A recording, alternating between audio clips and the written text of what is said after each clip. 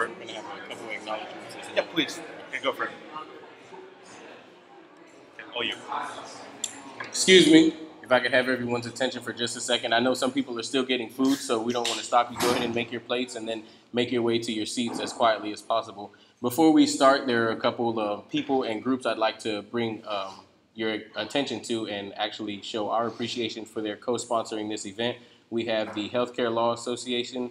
We have the, I believe, the American Constitution Society, the Stetson Democrats, and I believe the Stetson Republicans as well have all put together and uh, put this event on for you. Um, also, we have three professors here, Professor Morrissey, Professor Finch, and Professor Torres Spelliscy, who will provide input and possibly ask questions as our speaker presents. And now for our speaker, Mr. Joshua Blackman, who prefers to be called Josh, not, Josh is good. yeah, not Mr. Blackman. He's an associate professor of law at the South Texas College of Law who special, specializes in constitutional law, the United States Supreme Court, and the intersection of law and technology. Josh is the author of the critically acclaimed book Unprecedented The Constitutional Challenge to Obamacare, which he'll be speaking on uh, right after I'm done talking. Um, personally, I had the opportunity to meet Mr. Blackman last summer at the uh, United States Supreme Court reception. It was an awesome experience. We had a moment to uh, speak, and that's how he ended up here. So, without any further ado, I present to you Josh. All right, Zachariah, thank you so much. All right, it's a, it's a pleasure to be here. Can everyone hear me okay? Great. So here we talk about a case about Obamacare, the Affordable Care Act. And this is a very fitting place to talk about Obamacare because a chance, the constitutional challenge was born in this very state. Yes, your Attorney General, joined by many others, invented and created the primary challenge to Obamacare. So we have to talk about here first is the constitutional challenge to the Affordable Care Act. Okay? Now, the Affordable Care Act was a very divisive piece of legislation was being enacted. For many years, presidents have attempted, but failed, to institute some sort of massive health care reform for the United States. President Obama was able to push it through by the most narrowest of margins, but the political victory was quickly eclipsed by the constitutional fight.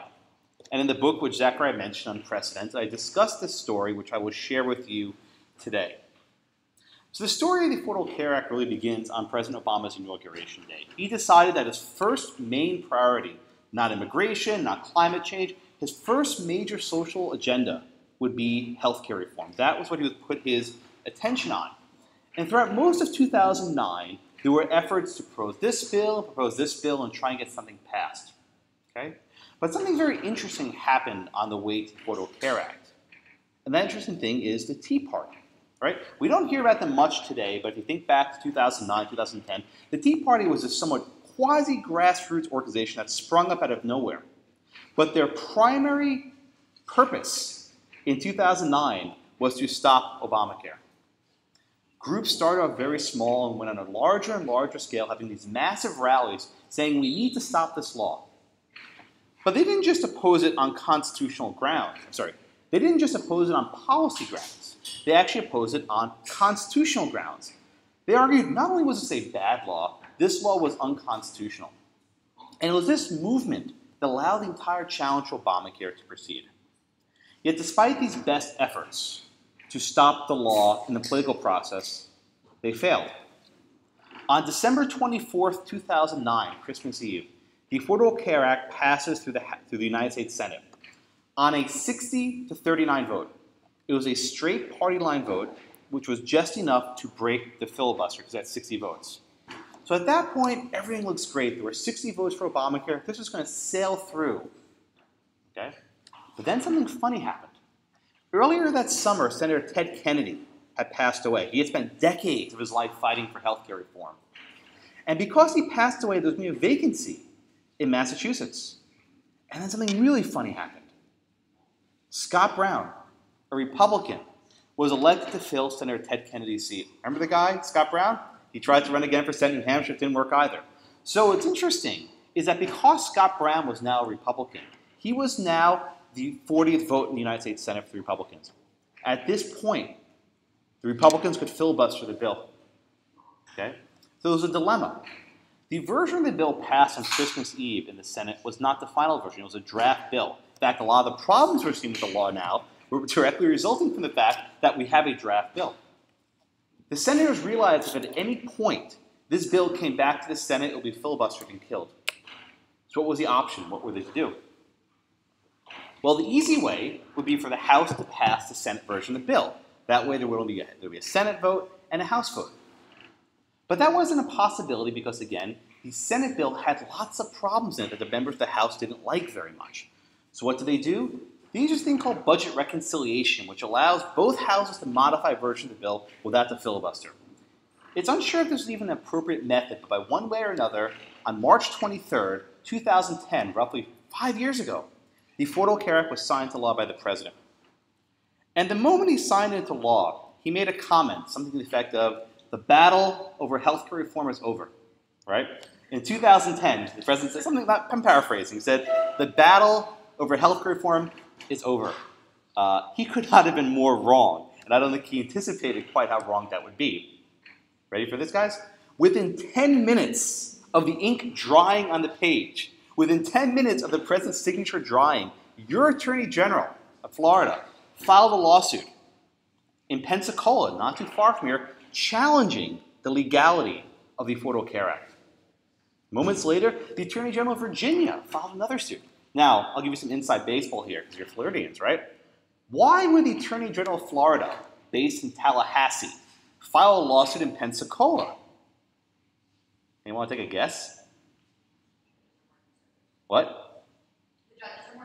Forum shopping, yes, my friend, right. So, the, effectively, the district court in Pensacola had effectively four Republican appointees and I think one senior Democrat judge. I might be getting the numbers slightly off, but it was pretty, it was pretty stacked. And I talked to people in the AG's office that we didn't want to file in Tallahassee, we didn't want to file in Gainesville, we didn't want to file in Miami, so we picked Pensacola. So, you know, as all good litigators, as you all be one day, forum shopping is very important both in terms of the Constitution and in terms of regular civil commercial litigation. Okay? So in any event, a constitutional challenge was filed in Florida before Judge Vinson in Pensacola. What was the nature of this challenge? Now, we have here three distinguished common law professors uh, who will be engaging with me later. But I can say with certainty that if I had asked any of them in 2009, could Congress regulate a multi billion dollar industry that, that, that, that, provides health insurance to everyone? Professors, what, what would the answer have been? I wrote on that, actually, as my students all know, I always say, remember Wickard. Yes. And I could never have imagined that the Supreme Court majority would have actually even considered on the Commerce Clause striking this down.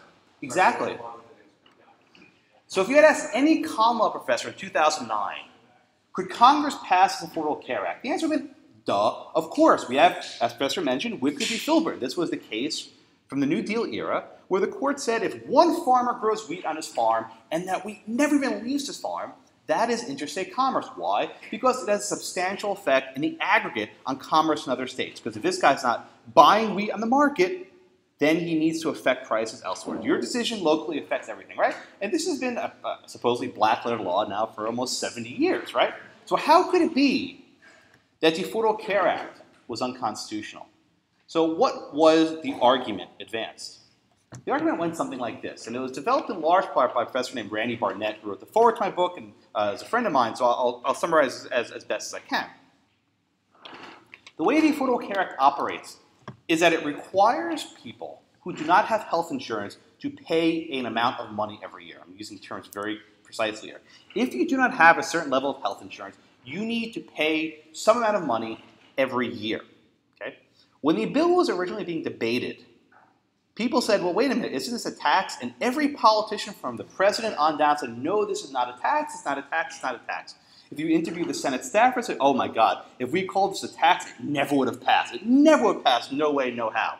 Said, okay, let's not call it a tax. Let's, in our constitutional findings for the law, call it a regulation on commerce. Let's just say we're not charging people a tax. This is just a regulation on commercial activity. And if you read the constitutional findings, the taxing power is mentioned nowhere, but everything is heaped on the Commerce Clause. So again, as Professor said, what's the problem? Wickard, right? Well, this is where lawyering makes things different. This is where lawyering kind of twists things on its head. So on the one hand, you can say, wow, this is regulating a multi-billion dollar commercial enterprise. But on the other hand, you can say, wait a minute, this law is doing something else. It's not just re regulating commercial activity, it's requiring people to engage in a commercial activity. This is not a regulation of activity, it's a regulation of inactivity.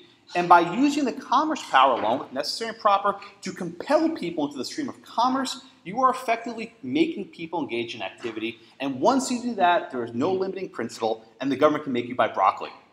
Or so the argument goes, right? If the government can make you buy a product because it improves some sort of market, what can they not do? This is why the book was called Unprecedented. The argument against Obamacare boiled down to this one word this is an unprecedented expansion of federal power by requiring people to engage in commercial activity. And once they engage in the commercial activity, we can regulate the hell out of them and charge them a penalty. Everyone get the argument, right? I'm not saying whether it's right or wrong, but this was the argument. And every law professor, except for maybe five in the country, said this is ridiculous, this is stupid. You know, this is, someone said Rule 11 sanctions should be appropriate for this kind of complaint. Uh, uh, uh, other people said that this is this is this is almost as bad as Dred Scott. I mean, you, you can go up and down the, the, up and down the rows, but these arguments emerged. But then something interesting happened, and, and we, we can discuss the reasons why. But Judge Vinson in Pensacola, not too far from here, issued an opinion. And this was a case brought on behalf of Florida and eventually 25 other states. Roughly half the states in the Union were challenging the constitutionality of Obamacare's mandate. And what did Judge Vinson find? He found that the law was unconstitutional. He found that Congress could not regulate inactivity, that this law compelled people to engage in, in, in, activity. And he wasn't just making stuff up. There actually was some precedent. So if you actually go back and you read Wickard, and you read Gonzales-Uriche, the medicinal marijuana case, and you read Lopez, and you read Morrison, you'll see one word appears in every single opinion activity. If you read Justice Scalia's concurring opinion in Raich, which I think was probably the real opinion in Raich, he uses the word activity. What did Judge Vinson say? We're not dealing here with activity. We are dealing with inactivity, people's decision not to have health insurance. If you're just sitting at home on your couch, you're not doing anything. But the government replied, wait a minute, wait a minute, wait a minute. Everyone needs health care at some point in life, right? Everyone's going to need health care. Aha, uh-huh, Judge Vinson replies.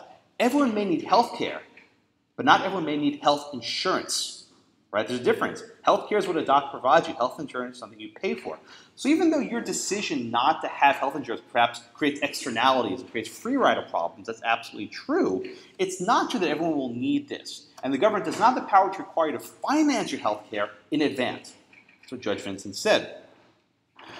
Judge Vinson's opinion, and then we can decide whether it was good or bad in that basis or not, effectively turned this argument from off the wall to on the wall. This made the argument have legs. This is not just some kooky law professors making this argument, and we are kooky people. This was a federal judge of some repute. I mean, he, he was, if you want to see this up, he was actually in the FISA court. He wrote some really interesting FISA opinions against President Bush. you want to see some interesting stuff.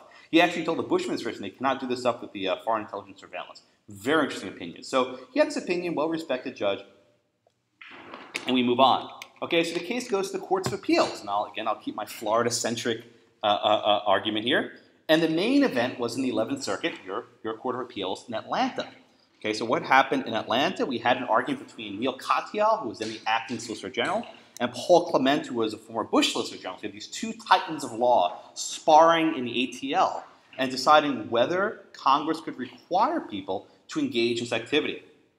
And the interesting thing about the argument before the 11th Circuit was that the opinion was a joint you had two judges, Judge Frank Hull and Judge Joel Dubina. They wrote a joint opinion finding that the, that the individual mandate was unconstitutional. Okay? So now, not only did you have a district court striking down, you had a circuit court striking down. And oh, by the way, this created a circuit split because the Sixth Circuit had already determined this law was valid as I'm sure you all know, once you have a circuit split, that almost guarantees Supreme Court review. I have been on record saying the Supreme Court will never take this case. I was wrong. I've been wrong about a lot of things, my friends. So I was very wrong about that. So once there's a circuit split, SCOTUS basically had to take the case. And take the case they did.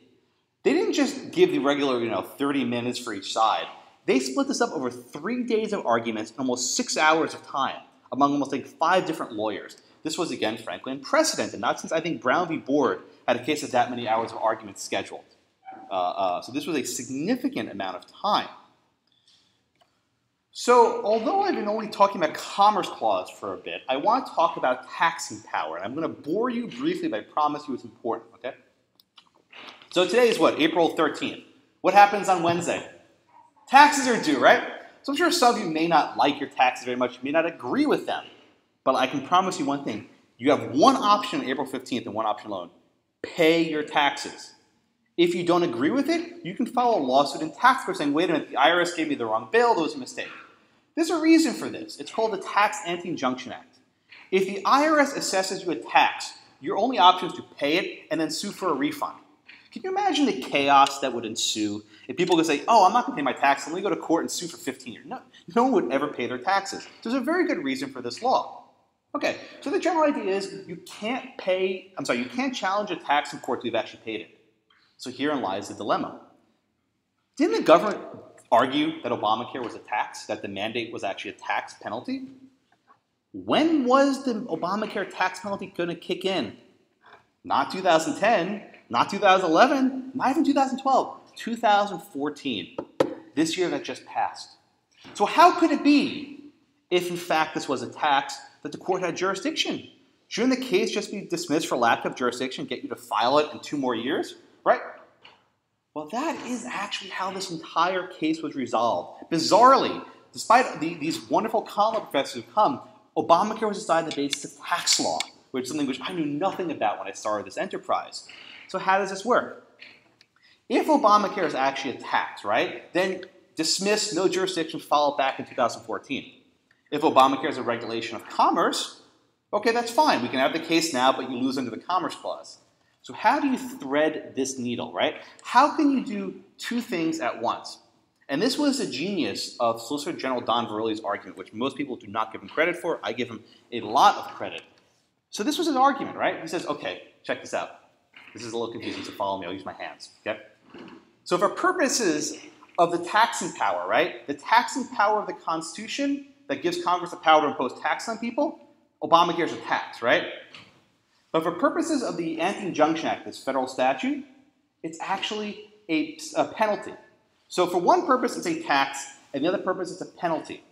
That the same exact provision of Obamacare is a tax for purposes of the Constitution, but a penalty for purposes of the Anti-Injunction Act. Why? Because if it's a penalty for that jurisdictional statute, you can hear the case now. But if it's a tax for the Constitution, you can uphold it. This was how Obamacare was decided. By looking at the same law with two different lenses, like Janus was serving two masters, the law was upheld. So effectively, the argument presented to the court is this. It's only a tax to uphold it, but once we decide jurisdiction, it's actually not a tax. That was the Obamacare argument. And that was the argument made to the Supreme Court. I'll tell you one more thing. That's the argument Chief Justice Roberts accepted. Mm. Everyone who said the Chief Justice made this up and got stuff nowhere, no, this came right from the government's briefs. The argument the government accepted was one the Chief adopted. So we have the decision, NFIB versus Sebelius. It was a confusing decision, in no small measure because the opinion was so long and so many people were intent on getting it right. So if you've ever seen this, it's actually pretty cool. There are no cameras in the court, we know this, right? So how do people get opinions from the court? Well, usually you go to their website. But like Obamacare.gov or healthcare.gov, that Supreme Court's website just tanked on decision day. It was offline. So the only way to get a copy of the opinion, you ready for this? Was having a paper copy. And how do you get a paper copy of the opinion? You ready for this? You hire an intern to wait in line, run, and grab it. They actually have a thing called the running of the interns. It's really cute. Where these interns in their suits and sneakers stand there poised and they dart, you know, they, they dart and they run straight to the you know reporters waiting on the street. But there's a problem right? What's the problem? When you have, and professors will acknowledge, a 200 page opinion you have to read quickly, you're going to make mistakes. You're going to mess stuff up. And boy, did they blow it.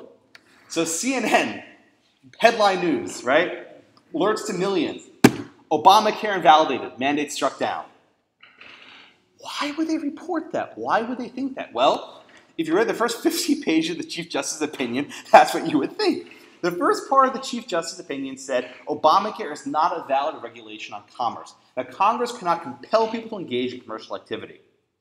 But if you keep reading to like page 51, right, you, the next page, you'll see where it says, oh, but by the way, the court has an obligation to read a statute in a way to make it constitutional. And we can construe this as a tax for purposes of the Constitution. We will uphold it. So everyone messed up, was so excited about Commerce Clause, right? And then you get to page like 60 you get to the bit about the taxing power. And that's how the court upheld it. This decision from the Chief Justice, which basically was only joined by him alone, did this part, this funky analysis, but was, was, was, was dispositive, caused a divide in the court. We had from Justice Scalia, Kennedy, Thomas, and Alito a joint dissent. There was such anger, they wouldn't even put one name to it, they all joined in. And what did this joint dissent say? We would invalidate the ACA in its entirety. Root and branch. Get rid of it. Let Congress start out from scratch. This is not a valid method. The ACA came within a breath of invalidation. And the Chief Justice's vote, if you believe reporting in my book and elsewhere, wasn't always so sure. Sure. That at some point during deliberation, the Chief Justice decided actually, I'm going to uphold this law as a tax using the government's argument. Right? So the ACA survived and lived to fight another day. But this was not the end of the battle of Obamacare. No, no, no, my friends. In fact, there's so much other stuff. I'm writing a second book because, because you know, they keep giving me new material. So the next major challenge, of course, which we'll talk about with my friend professor here, is Hobby Lobby versus Burwell, contraceptive mandate case. So this case involves a law which I'm sure you're now all familiar with, called the Religious Freedom Restoration Act, or if you want to be cool, RFRA, right? RFRA. So, what is RFRA? RFRA was passed in 1993 by almost a unanimous Congress, a voice vote in the House, and a 97 to 3 vote in the Senate.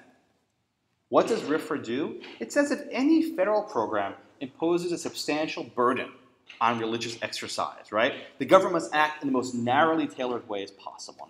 Summarizing, that's more or less the gist of the law right? The government can't impose substantial burdens on religion unless like this, this is the only way they can accomplish this important governmental objective. So we have Obamacare. So here's a pop quiz. Does Obamacare have a contraceptive mandate? No, it doesn't. Surprise, surprise. Obamacare, the law itself, the Affordable Care Act, all it says is that certain screening and preventative methods for women shall be provided. Who determines what these screening processes are? not Congress. They want nothing of that. Had Congress actually said that abortifacients are covered by the law, it would have never passed. Never, never, never, never in 100 years. So they said, let some other bureaucratic agency, nameless face, decide what this is. So, ready? Health and Human, Congress delegate to Health Human Services. Health Human Services delegate to called HRSA, who delegate to the Institute of Medicine, the IOM, which is a group of doctors you've never heard of. And they decided that what he provided are all FDA-approved contraceptive, including various abortifacients such as Plan B and Ella, which basically the morning after pills are often known. So you have this bureaucratic agency decides, you know what? We need Obamacare to cover this. Now, originally, who was exempted from providing contraceptives? Churches temples, mosques. That's it. What about religious nonprofits, such as the Little Sisters of the Poor, which is basically a group of nuns? Were they exempted from the mandate? Of course not. As originally drafted, the regs require the nuns to provide contraceptives to their fellow nuns, or whatever, whatever it's going to be, right? Um, this created a serious backlash. So the Obama administration said, okay, you know what? We're going to exempt these religious nonprofits, right? What about for profit corporations?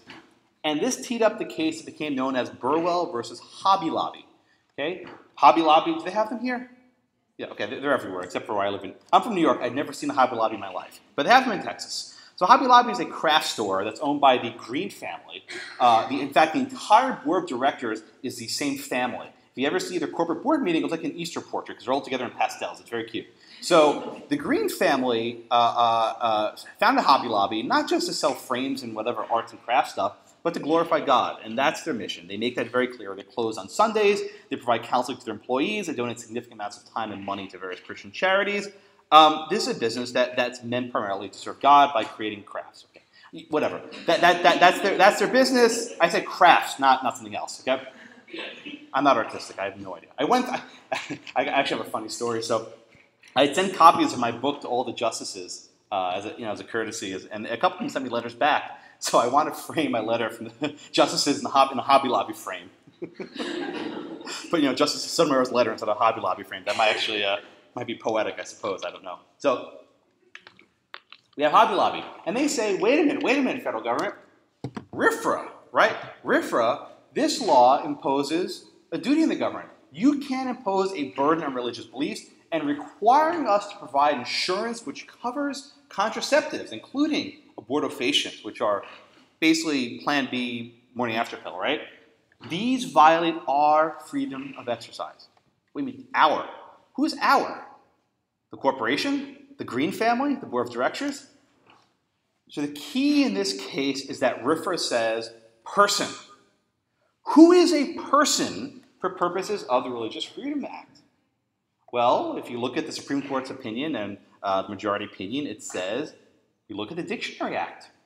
And the Dictionary Act says 1 USC 1, the very first page of the US Code, the word person in a statute can refer to a corporation. But that's not entirely dispositive. I think the more uh, uh, important way of thinking about it is what is a corporation? It's a group of people who pursue a common goal.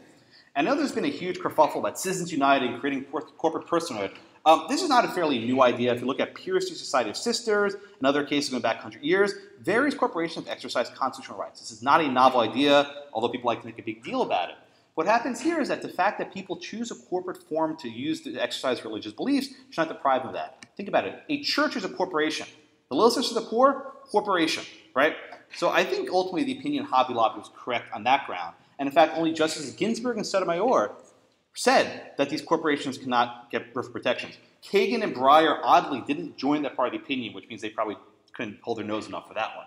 But in any event, we have the opinion in Hobby Lobby saying that RFRA imposes substantial burdens on religious exercise. I'm sorry, that the contraceptive mandate imposes substantial burdens. This case will probably go back up to the court based on what happened afterwards, right? So after Hobby Lobby, the Obama administration said, okay, you know what, guys? Fine. We'll give you an accommodation. You don't have to pay for these. Just write us a letter, okay? Write us a letter telling us that you object to providing these contraceptives. Do you think that accommodation was accepted? No. So Hobby Lobby basically filed another, well, they, they amended their complaint saying that this new accommodation itself violates religious liberties. The mere act of sending a letter to the government saying we do not want to provide these services, that is a substantial burden of religious exercise. Um, the technical argument is that by sending this letter, they're identifying who the insurance provider is, and that puts in place the triggering of processes that leads to the uh, provisioning of these products. I'm not so optimistic they'll win this one. I think they'll be pushing their luck, but I, you know, I, am usually wrong about these things, so I offer no predictions. Okay.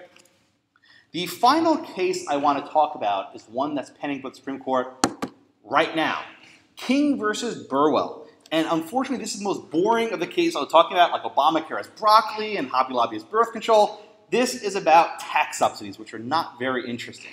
Okay? So the way the Affordable Care Act was designed and structured was to ensure that people could have affordable health insurance. Okay? And how does this work? By the government throwing lots of money at it. Surprise, surprise, Obamacare does almost nothing to control costs. This was one of the compromises made. Obamacare does not control costs, and if you want to read a good, good book, Steven Brill called Bitter Pill, Obamacare does not really control costs. What it does is it throws money at the problem. So I read a good example. It's like putting, you know, new, new tires on a rusty bicycle, right? You know, it'll look nicer, but whatever. So the way Obamacare makes healthcare more affordable is by giving subsidies. And where do you buy health insurance? Well, you're all in Florida. Maybe you've done it. You go on to healthcare.gov, right? Why? Because your state elected not to build an Obamacare exchange, as did my state, as did 34 other states. But here's the issue. There's a section of the law, which most people will never actually read, that says subsidies can be paid out in states that establish exchanges. I'm paraphrasing the long statute, but basically says if there's an exchange established by the state, you can get subsidies. So, for example, if you're in New York or California and you log on to their subsidy website or their exchange website, you get these subsidies. Fine, no problem. But what happens if you buy insurance on the Florida version of healthcare.gov, which is established not by the state but by the federal government? Can you get the subsidies? The case pending right now with the Supreme Court can be decided any minute. And for the record, I filed a brief in it on behalf of Cato. This case pending right now decides whether people in 34 states, excuse me, stand to lose the subsidies being paid out. Okay, so what are the arguments here, right? So on the one side, you have the challenge, like, listen, read the statute, right? Read, read the damn text. It's very clear. It says, exchange established by the state. This was a specific term used to say that only subsidies for states established exchanges can be paid out. So for Florida, you guys are out of luck. Okay? What's the government's argument? They say, well, well, no, don't be so formalistic, right? Read the entire statute to gain context, right? Read the entire law, and you'll see that this was a, a law meant to provide a subsidy for as many people as possible. There's no evidence that Congress intended to limit the subsidy to these states' established exchanges, and this would put the entire law into a death spiral because once Floridians can no longer get these subsidies, they will stop paying for health insurance. And once they stop paying for health insurance, only the sick people will be in the market. And because there are only sick people in the market, premiums will go through the roof, right? This is the adverse selection death spiral, like down the toilet, right? Once healthy people, the young invincible, stop buying insurance, your entire market goes to the crapper, right? So, who's right? Well, I mean, I have my opinion this one because I filed a brief in this case, but I think this case uh, uh, is something of a toss-up. I, I, don't make predictions anymore, but I think this one's pretty close uh, because I can see the court coming out um, either way on this decision. So what does all this mean, right? I have one book on Obamacare. I'm going to have to write a second book and probably a third before I'm done with it.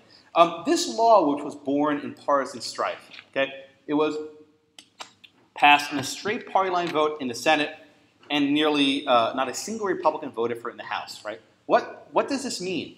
Um, unlike other major pieces of social legislation, Social Security, uh, Americans with Disabilities Act, the Civil Rights Act, these were all bipartisan acts. Obamacare was not. What does that mean? On the one hand, perhaps Republicans wanted nothing to do with this law, and I think that, that's probably true. But even with that being said, half the country hates this law, and it's barely peaked about 50% popularity. Going forward, whereas a reasonable Congress who liked the law would make, you know, changes here, changes there, tweak here, tweak there, half the country wants to repeal the damn thing. So I think there's a lesson to be learned that when you're trying to engage in massive social change that affects a lot of things, um, bipartisanship matters. And the absence of it, it's not to say, let's do it, let's pass a law and find out what's in it later, right? As Nancy Pelosi said. Let's, let's worry about the details later, right? The details are now. We have Obamacare, we have Hobby Lobby, we have King v. Burwell, and about three other cases I didn't mention, which will be coming down the pike. And all these cases will pose existential threats to the Affordable Care Act itself, uh, not the least of which who wins the next presidential election, because serious damage can be done, both sides. Uh, uh, the Affordable Care Act has lots of benefits. The benefits are front loaded. The subsidies, insurance, whatever, the painful stuff kicks in later. So get ready for the Cadillac tax, folks, in 2018. Uh, if you have a generous healthcare plan, it'll be canceled because it's too generous and your employer will just drop you. Uh, uh, Zeke Emanuel, Rahm Emanuel's brother, said within a decade, almost all Americans will be on the Obamacare exchanges. So this is not going anywhere. This is a problem we'll have for a long time. Uh, I'm going to turn it over to my friend who will talk a little bit more about Hobby Lobby, uh, but I welcome all of your questions later. Uh, thank you so much.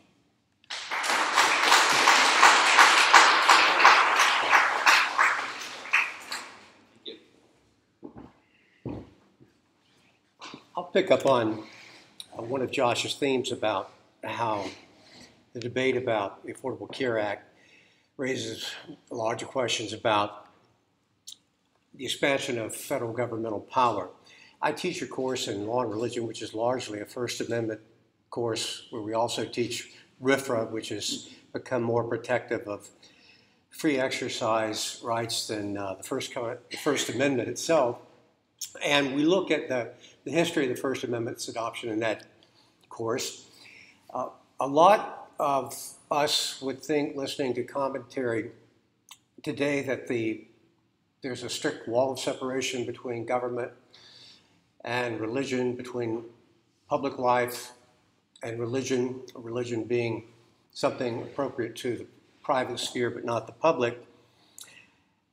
And one of the things that I try to emphasize in the, the First Amendment course is how even if you adopt a, a Jeffersonian or Madisonian view, which they articulated as president about keeping religion out of their administrations, that's only part of their view. The other part of the view was Madison never conceived that Congress would have any power to legislate in any way that would directly affect religion. And Jefferson believed uh, in extremely limited powers of federal government, although he may have exceeded that in the, in the uh, Louisiana Purchase. Let Jefferson, among other things, uh, believed in the Kentucky and Virginia resolutions that states could nullify laws which they disagree. The point is this that even to the extent that there is a plausible historical argument for separating government and the other sectors, private or however you want to define them, there's been a major change in the expansion of government uh, there's been a major expansion of government over the past two centuries. Uh, I think you would agree that uh, Jefferson could not have imagined a, a, national health care plan, could not have imagined the role that federal and to a lesser extent state government have in education and providing social services, which were largely provided into the 20th century by nonprofits and particularly religious nonprofit organizations. So one of the interesting things about the Hobby Lobby case is that it, it brings to our attention how 18th century notions about the proper sphere of government and political life and religion and private life don't really work well anymore because of the dramatic expansion of government, which led to the problem that the, the Greens, um, Conestoga company addressed in Hobby Lobby.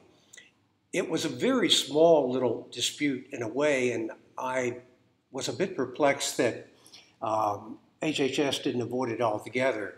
As Josh pointed out, there were 20 contraceptives that had to be part of the health insurance plan. Four of them, according to the Greens, uh, and this was probably a minority view on the scientific issues, uh, four of them, like the morning after pill, were deemed to be abortifacients by the plaintiffs. The government didn't contest that point. There were a number of medical commentators that said, well, an abortion occurs when you take uh, an embryo that's been planted on the wall of the uterus and terminate its existence, not when you intervene in that four or five days between the time you have a, uh, an embryo, a fertilized egg, and the implantation, which is where the four contraceptives they objected to uh, took effect. Now, I don't share the, the Greens' view about when human life comes into existence. I, in my younger days, when it mattered, I purchased contraceptives. Um, I, uh, I, I, tend to support uh, early, early pregnancy abortions, a, a woman's right to choose. So, in listening to the religious or moral argument that the plaintiffs uh, or the closely held corporation presented, it isn't a social issue with which I have a strong agreement and maybe I don't agree at all. But it did seem unnecessary for me for the uh, HHS, without having specific mandate of Congress, to force the issue. These people sincerely believe what they said, even if medically you could dispute uh, their definition of an abortifacient. Uh, this was, uh, in the case of the family, they took the Greens take, took very good care of their employees, gave them very good health care benefits, like those we have at Stetson. And these were sincere people who were willing to close down the store on Sunday, Hobby Lobby that is, despite the loss. So, as even the dissenting justices point out, this was an uh, attractive group of folks to assert a religious freedom claim.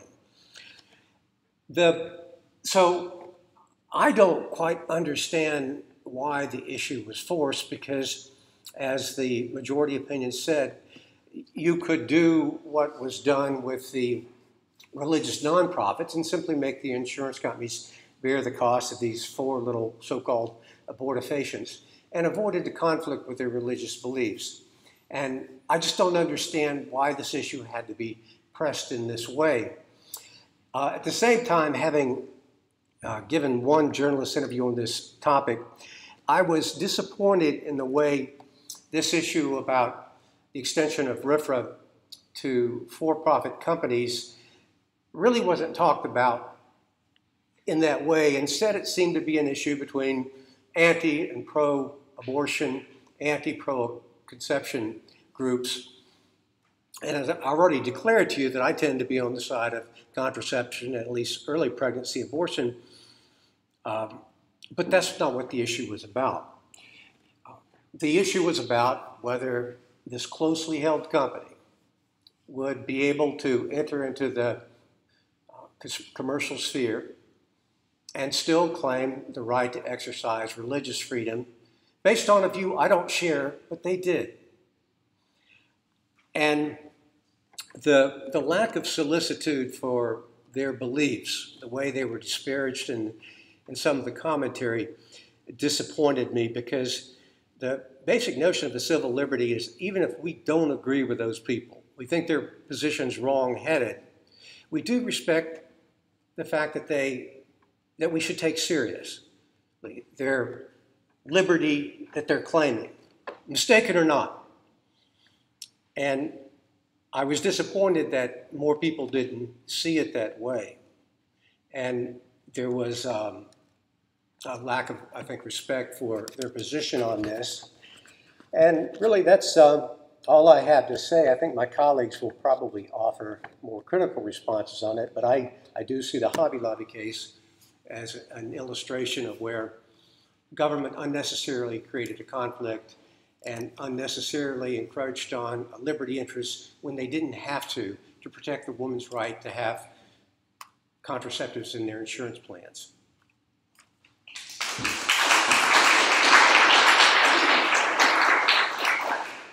All right, we have. What time do we wrap up? At what we're at one? Okay, so we'll finish soon. All right, so I'll, I'll extend the courtesy of the uh, prerogative to my, my colleagues over here. If you have any questions or things you'd like to ask. I, I guess my question is, what is your end game? Um, do you want the ACA to be repealed? And if the ACA is um, repealed, taking its place? Oh, I don't have much of an issue with the policy. Uh, people always ask. I don't really care. It, it, people don't believe me when I say this, but actually, I actually don't care what happens to Obamacare. I really don't. I don't particularly like it, but if the Democratic process wants to keep it, fine. If the next president wants to repeal it, fine. To replace something better or worse, you know, I, am somewhat ambivalent. My my conception is a rule of law and enumerated powers. That's what gets me going in the morning. Um, and to the extent that the law violates that, then I think the courts have a prerogative to step in. But your question is a fair one. If we replace it, then what comes after it? Is it better or worse? You know, I have no idea. Thank you, sir. So to that point, the, uh, the rule of law and the separation of powers, you, the end of your presentation suggested that President Obama and those advocates for the Affordable Care Act should have had bipartisan support. If they had, we may not be seeing the results in the courts that we're seeing today. That suggests that the courts are actually entirely partisan and are taking a political stand in most, if not all, respects, which is really anti, I their role in the separation of powers and in the rule of law. Is that um, I, I,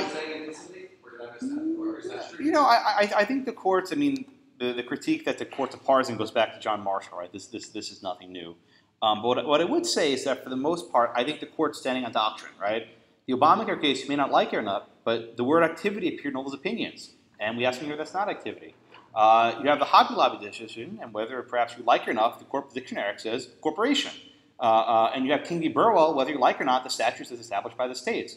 So these aren't, you know, some sort of opinions where just making stuff up out of left field, right? You know, I, I, I, you teach some opinions from the Warren Court in your case, and like, okay, don't actually look at the logic, just look what, you know, we, ha- we have opinions. So I, I think at least his opinions try to ground themselves in precedent to the best they can. I think the judges look at in an honest and forthright manner. I, I don't, I, I, don't think that these are the opinions that are um, making stuff up, but I, I see your point strongly that these are partisan issues and the court is injecting itself into a debate of significant and nationwide proportions. Um, and it's, a, it's, it's, it's very difficult when you have these 5-4 decisions come out the way they do. So one quick follow-up for some activity and inactivity distinction, which I think is actually false or misleading, because even this dissent points out that what we have is $100 billion worth of healthcare going to people who claim that they are not consumers, that they are not going to be in the healthcare market, but they actually are. There's a falsehood there that's actually not well, they're not consumers at the moment; they'll be consumers in the future. And they have been in the past as a group. Not necessarily, oh, as a group, but but this, the mandate operates in individuals. Right, but but the, the issue is difference between health care and health insurance, right?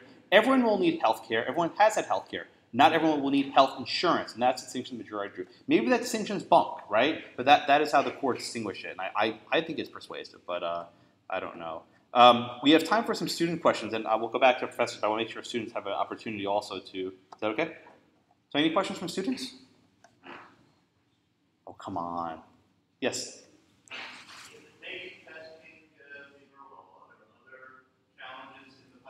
Oh, you betcha. Right. So the question was, in case you can hear it, if the court invalid, well, if Obamacare survives King v. Burwell, which is a very deep question, I don't know what that even means, but After King v. Burwell, there are more cases. So one involves the origination clause, right? That's been pending forever. The Constitution says taxes must originate in the House of Representatives. If Obamacare is a tax, it should originate in the House. Where did it begin? In the Senate. So this case is actually tricky because there's something called a shell bill. And what a shell bill is? Get ready for this, right? Someone, some smart lawyer in the Senate said, okay, we're going to have this tax issue maybe. Let's take some random bill from the House that has nothing to do with Obamacare, it's about veterans' rights. Let's gut it and put Obamacare into it. It's like putting it into a shell, like of an egg, right? So technically, Obamacare originated in this House shell bill. Um, I don't find that argument very persuasive, but if that argument works, or if the argument fails, I should say, the mandate becomes an unconstitutional tax and the entire law unravels. By the way, title my next book is Unraveled. Uh, so that's, see where I'm going with that, right?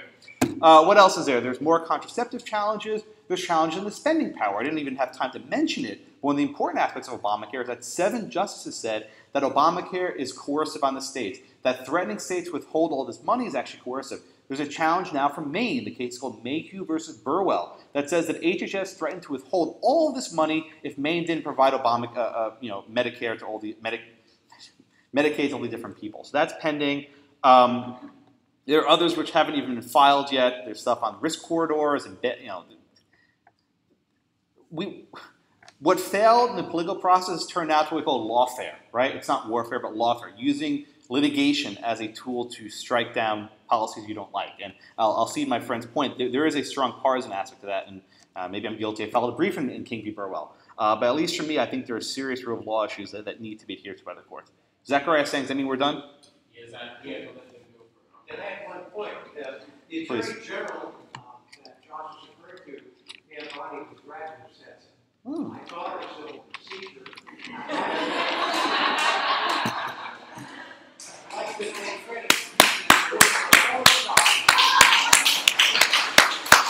Thank you very much.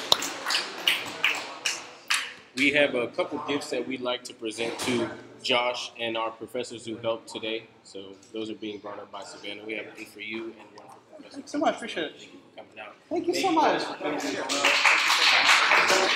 much. Bye, Beck.